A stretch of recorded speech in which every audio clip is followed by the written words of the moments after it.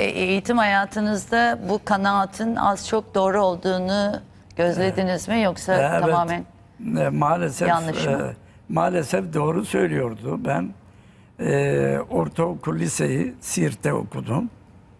E, o dönemlerde e, adeta namaz kılmak yasaktı. E, Allah rahmet eylesin lisenin bir müstahdemi vardı. Bir tahta getirmişti.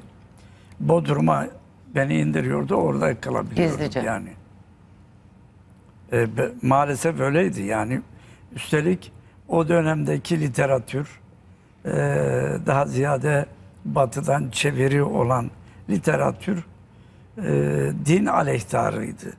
Efendim seküler bir literatür vardı. yani seçerken de onlar bilinçli olarak seçilmiş. Evet, evet.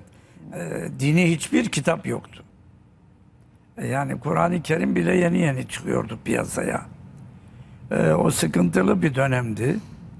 E, kısır bir dönemdi. İlmi açıdan kısır. Her türlü Evet, evet, evet. Maalesef yani. siz